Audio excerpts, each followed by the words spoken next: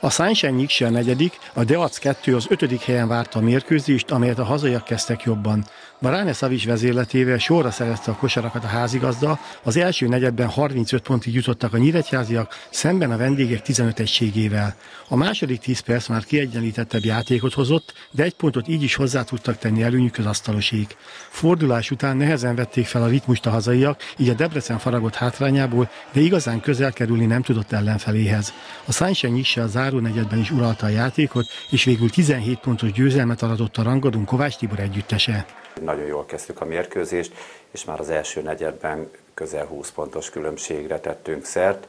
E, elsősorban annak, hogy nagyon jól védekeztünk ilyen szinten, sok lepattanó labdánk volt, e, volt három-négy gyorsindításos lehetőségünk, amit ki is használtunk, illetve hát nagyon fontos volt az, hogy kintről betaláltunk köszönhetően annak, hogy Zajács Krisztián egész mérkőzésen nem is hibázott három pontost, és az első negyedben ez meglátszott az eredményen is.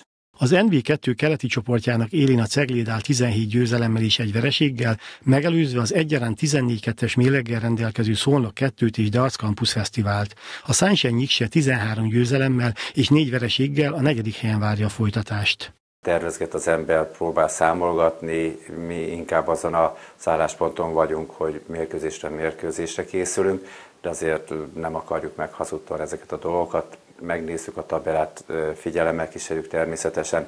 A realitás az, hogy az előttünk lévő három csapat jelenállás szerint most jobb játékerőt képvisel, egyenletesebb teljesítményt nyújt, bravúr lenne bármelyik őket, bármelyik csapatot megelőzni.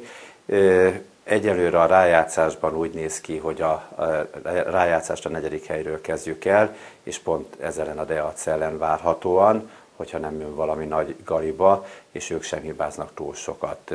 Úgyhogy várhatóan ellenük fogunk a továbbiakban is küzdeni. A Sunshine se legközelebb pénteken lép pályára, akkor a tabella 8. helyén álló mezőberényhez látogat Kovács Tibor együttese.